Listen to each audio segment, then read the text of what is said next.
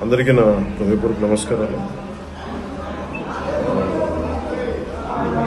దాదాపు నూట నూట పదిహేను మంది పైగా ఆ, నిన్న అరెస్ట్ చేసి అందరి మీద కూడా అటెంప్ట్ మర్డర్ కేసు పెట్టిన దాన్ని ఈ రోజున జనసేన లీగల్ టీం గత ప్రతాప్ గారి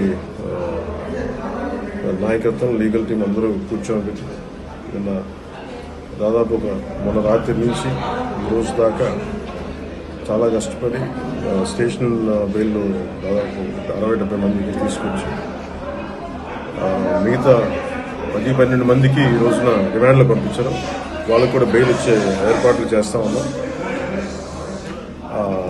అలాగే రేపు పొద్దున హైకోర్టులో కూడా దాన్ని పిటిషన్ వేసి అది కూడా రేపు పొద్దున హీరింగ్ ఉంది. అలాగే కాబట్టి నేను బయటికి ఇది ప్రత్యేకించి గొడవ అంతా కూడా ప్రభుత్వం మీద పోరాటం తప్ప ఇది పోలీస్ వ్యవస్థ మీద పోరాటం కాదనేది కూడా నేను ఈ సందర్భంలో మనస్ఫూర్తిగా తెలియజేస్తాను. అలాగే నాకు బయటికి చాలామంది వెయిట్ చేస్తా ఉన్నారు. వాళ్ళందరికీ కూడా అభివాదం చేయడానికి కూడా నాకు ఈ ప్రభుత్వం నాకు ఆంక్షలు విధించింది కాబట్టి నేను బయట అందరికీ నమస్కారాలు చెప్పలేకపోతే అది వైసీపీ ప్రభుత్వం విధించిన ఆంక్షల వల్ల నేను మీరు చేసే అభివాదానికి నేను ప్రతి అభివాదం చేయలేని పరిస్థితి